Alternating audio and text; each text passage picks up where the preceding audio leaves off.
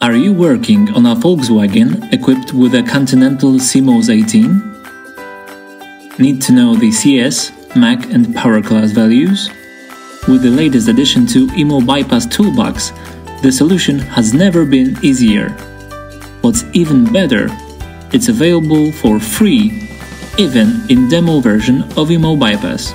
All you need is a free Immo Bypass account, a PC version of IMO Bypass installed, EEPROM and flash readouts from the ECU. So, how does it work? Open Immo Bypass and sign in to your account.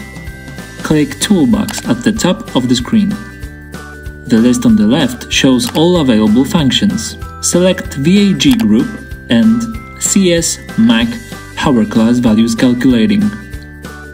Upload the readout files from both memories into appropriate fields.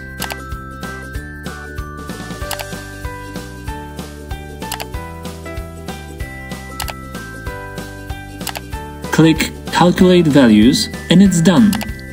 The vehicle identification number, CS, MAC and power class values can be found to the right. Now you can save these values as a text file. Simple, right? And remember, it's totally free. Meet Immo Bypass by CarLabImmo and see how easy car electronics might be. CarLab IMO. Immo off, simple.